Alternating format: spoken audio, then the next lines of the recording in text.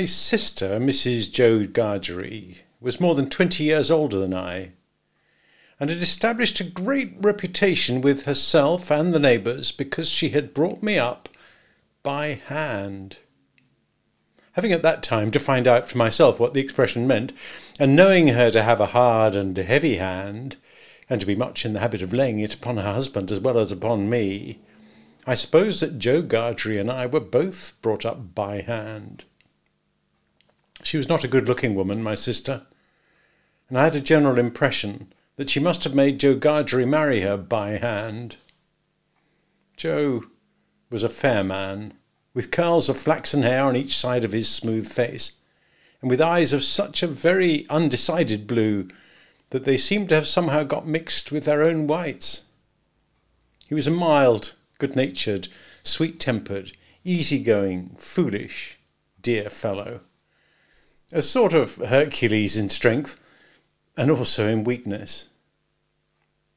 My sister, Mrs. Joe, with black hair and eyes, had such a prevailing redness of skin that I sometimes used to wonder whether it was possible she washed herself with a nutmeg grater instead of soap. She was tall and bony, and almost always wore a coarse apron, fastened over her figure behind with two loops, and having a square, impregnable bib in front that was stuck full of pins and needles. She made it a powerful merit in herself and a strong reproach against Joe that she wore this apron so much. Though I really see no reason why she should have worn it at all, or why, if she did wear it at all, she should not have taken it off every day of her life. Joe's forge adjoined our house, which was a wooden house, as many of the dwellings in our country were, most of them at that time. When I ran home from the churchyard, the forge was shut up, and Joe was sitting alone in the kitchen. Joe and I, being fellow sufferers and having confidences as such, Joe imparted a confidence to me the moment I raised the latch of the door and peeped in at him opposite to it, sitting in the chimney corner. Mrs. Joe's been out a dozen times looking for you, Pip.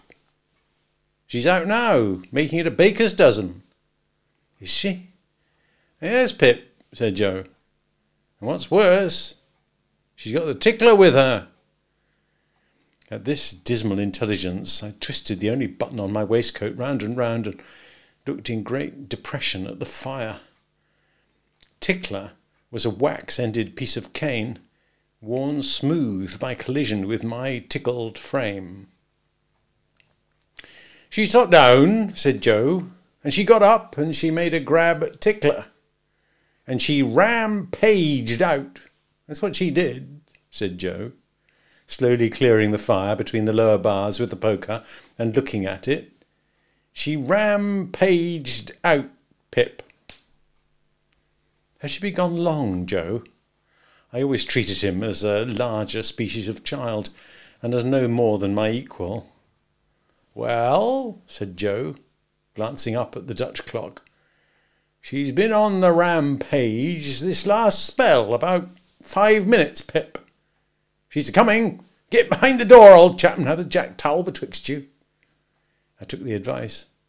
My sister, Mrs. Joe, throwing the door wide open, finding an obstruction behind it, immediately divined the cause, and applied Tickler to its further investigation. She concluded by throwing me I often served as a connubial missile at Joe, who, glad to get hold of me on any terms, passed me on into the chimney and quietly fenced me up there with his great leg. Where have you been, you young monkey? said Mrs. Joe, stamping her foot. Tell me directly where you've been doing where we away with friend and Worrit and I'll have you out of that corner if you was fifty pips and he was five hundred Gargeries. I've only been to the churchyard, said I from my stool, crying and rubbing myself. Churchyard? repeated my sister. If it weren't for me, you'd have been to the churchyard long ago and stayed there. Who brought you up by hand? You did, said I. And why did I do it, I should like to know? exclaimed my sister. I whimpered. I don't know. I don't, said my sister. I'd never do it again. I know that. I may truly say I've never had this apron of mine off since born you were. It's bad enough to be a blacksmith's wife, and him a gargery, without being your mother. My thoughts strayed from that question as I looked disconsolately at the fire. For the fugitive out on the marshes with the ironed leg, the mysterious young man, the file, the food, and the dreadful pledge I was under to commit a larceny on those sheltering premises it rose before me in the avenging coals. Ha! said Mrs. Joe, restoring Tickler to his station. Churchyard, indeed! You may well say churchyard, you two. One of us, by the by, had not said it at all. You'll drive me to the churchyard betwixt you one of these days, and oh, a precious pair you'd be without me. As she applied herself to set the tea things, Joe peeped down at me over his leg as if he were mentally casting me and himself up, and calculating what kind of pair we practically should make under the grievous circumstances foreshadowed. After that, he sat feeling his right side flaxen curls and whisker, and following Mrs. Joe about with his blue eyes, as his manner always was at squally times. My sister had a trenchant way of cutting our bread and butter for us that never varied. First, with her left hand, she jammed the loaf hard and fast against her bib, where it sometimes got a pin into it, and sometimes a needle, which we afterwards got into our mouths. And then she took some butter, not too much, on a knife, and spread it on the loaf in an apothecary kind of way, as if she were making a plaster, using both sides of the knife with a slapping dexterity and trimming and moulding the butter off round the crust.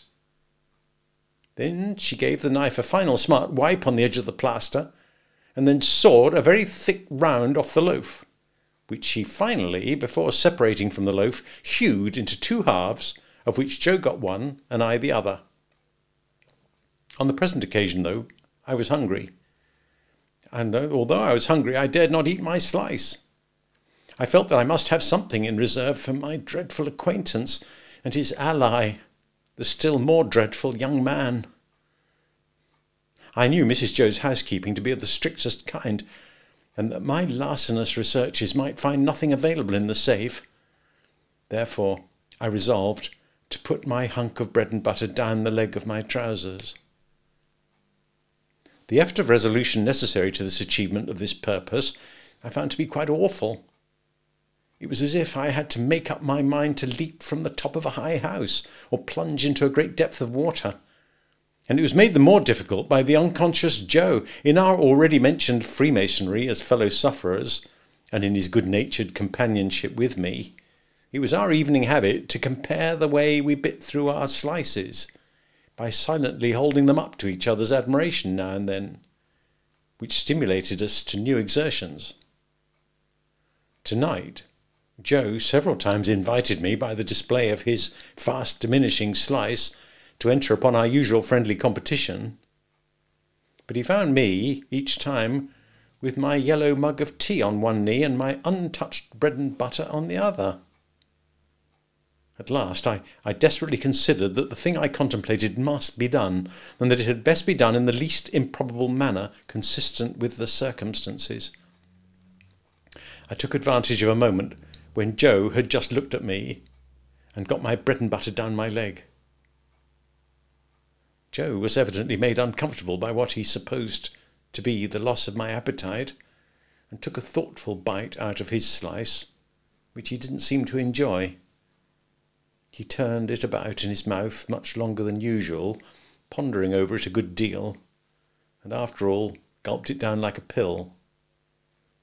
He was about to take another bite, and had just got his head on one side for a good purchase on it, when his eye fell on me and he saw that my bread and butter was gone. The wonder and consternation with which Joe stopped on the threshold of his bite and stared at me were too evident to escape my sister's observation. What's the matter now? she said smartly as she put down her cup. I say, you know, muttered Joe, shaking his head at me in very serious remonstrance. Pip, old chap, you'll do yourself a mischief It'll stick somewhere. You can't have chewed it, Pip. What's the matter now? repeated my sister, more sharply than before. If you can cough any trifle on it up, Pip, I'd recommend you to do it, said Joe, all aghast.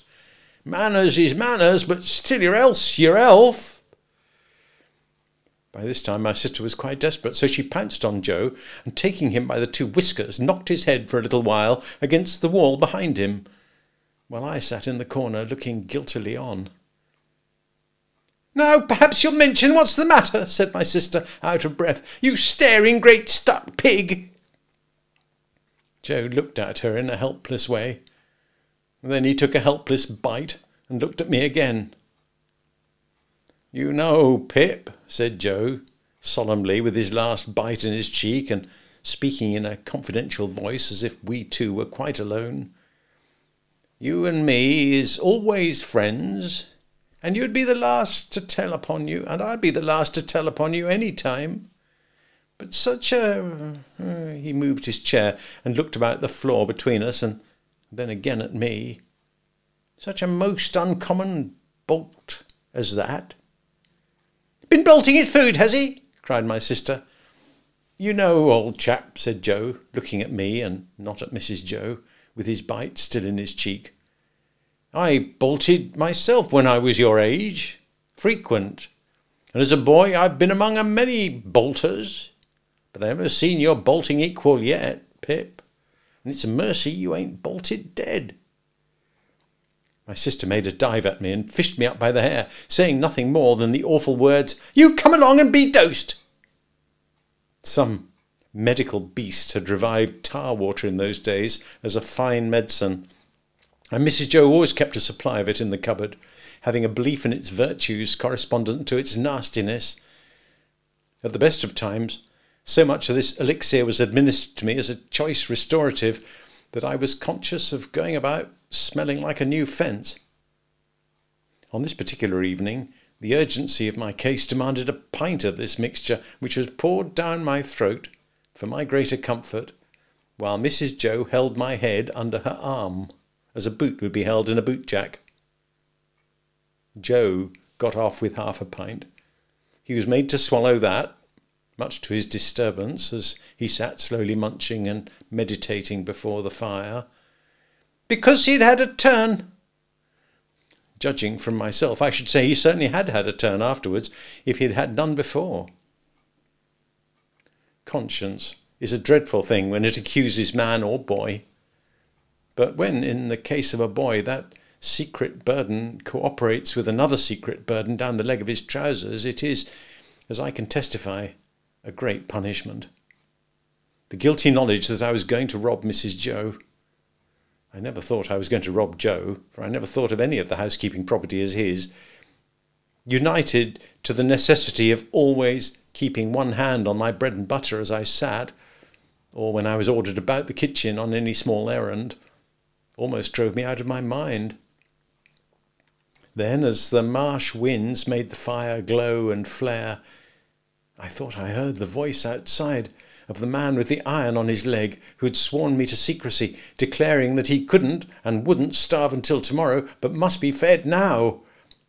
At other times I thought, what if the young man, who was with so much difficulty restrained from imbruing his hands in me, should yield to constitutional impatience and should think himself accredited to my heart and liver tonight instead of tomorrow.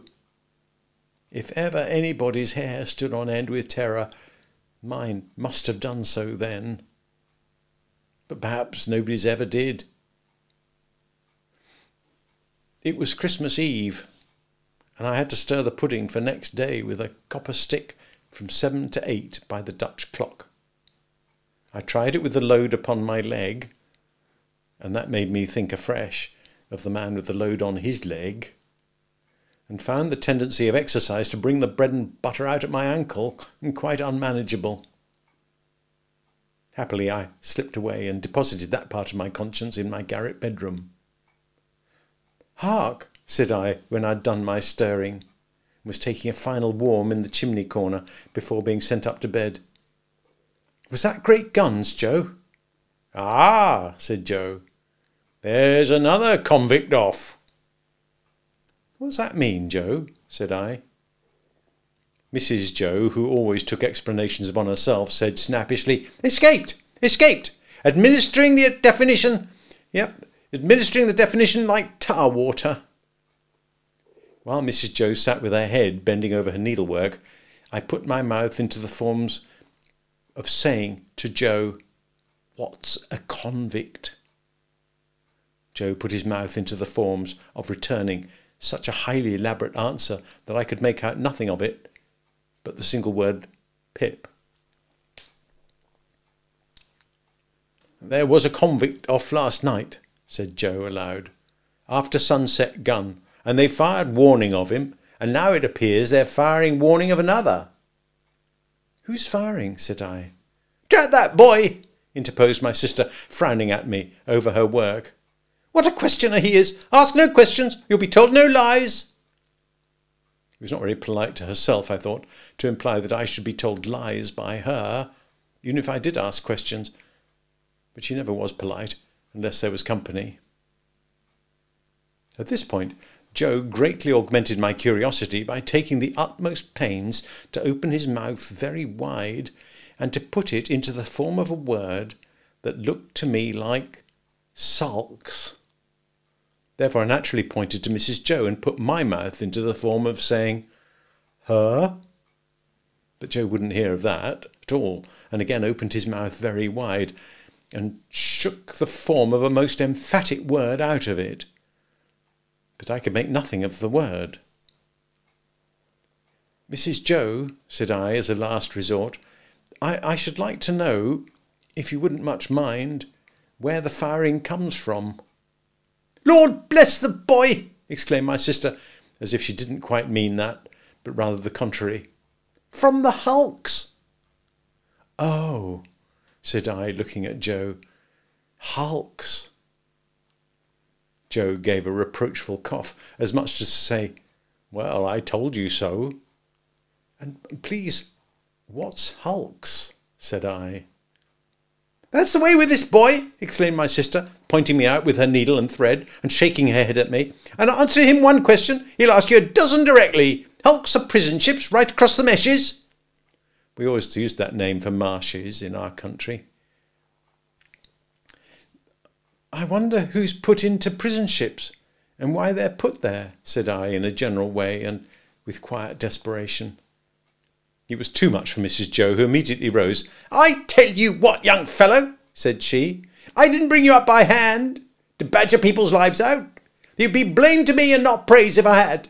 People are put in the hulks because they murder and because they rob and forge and do all sorts of bad, and they always begin by asking questions. Now you get along to bed. I was never allowed a candle to light me to bed, and as I went upstairs in the dark, with my head tingling from Mrs. Joe's thimble having played the tambourine upon it, to accompany her last words, I felt fearfully sensible of the great convenience that the hulks were handy for me. I was clearly on my way there. I'd begun by asking questions, and then I was going to rob Mrs. Joe. Since that time, which is far enough away now, I've often thought that few people know what secrecy there is in the young under terror.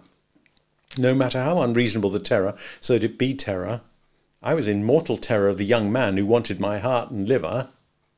I was in mortal terror of my interlocutor with the ironed leg. I was in mortal terror of myself, from whom an act of awful promise had been extracted. I had no hope of deliverance through my all powerful sister, who repulsed me at every turn. I'm afraid to think of what I might have done on requirement in the secrecy of my terror. If I slept at all that night, it was only to imagine myself drifting down the river on a strong spring tide to the hulks. A ghostly pirate calling out to me through a speaking trumpet as I passed the gibbet station that I'd better come ashore and be hanged there at once and not put it off. I was afraid to sleep, even if I had been inclined, for I knew that at the first faint dawn of morning I must rob the pantry. There was no doing it in the night, for there was no getting a light by easy friction then. To have got one, I must have struck it out of flint and steel, and have made a noise like the very pirate himself rattling his chains. As soon as the great black velvet pall outside my little window was shot with grey, I got up and went downstairs, every board upon the way and every crack in every board calling after me, Stop, thief! and Get up, Mrs. Joe! In the pantry, which was far more abundantly supplied than usual, owing to the season, I was very much alarmed by a hare hanging up by the heels, whom I rather thought I caught my back was half turned, winking. I had no time for verification, no time for selection, no time for anything, for I had no time to spare. I stole some bread, some rind of cheese, about half a jar of mincemeat, which I tied up in my pocket handkerchief with my last night's slice, some brandy from a stone bottle, which I decanted into a glass bottle I had secretly used for making that intoxicating fluid Spanish licorice water up in my room, diluting the stone bottle from a jug in the kitchen cupboard, a meat bone with very little on it, and a beautiful round compact pork pie. I was nearly going away without the pie, but I was tempted to mount upon a shelf to look what it was that was put away so carefully in a covered earthenware dish in a corner, and I found it was the pie. And I took it in the hope that it was not intended for early use and would not be missed for some time. There was a door in the kitchen communicating with the forge. I unlocked and unbolted that door and got a file from among Joe's tools. Then I put the fastenings as I'd found them, opened the door at which I'd entered when I ran home last night, shut it, and ran for the misty marshes.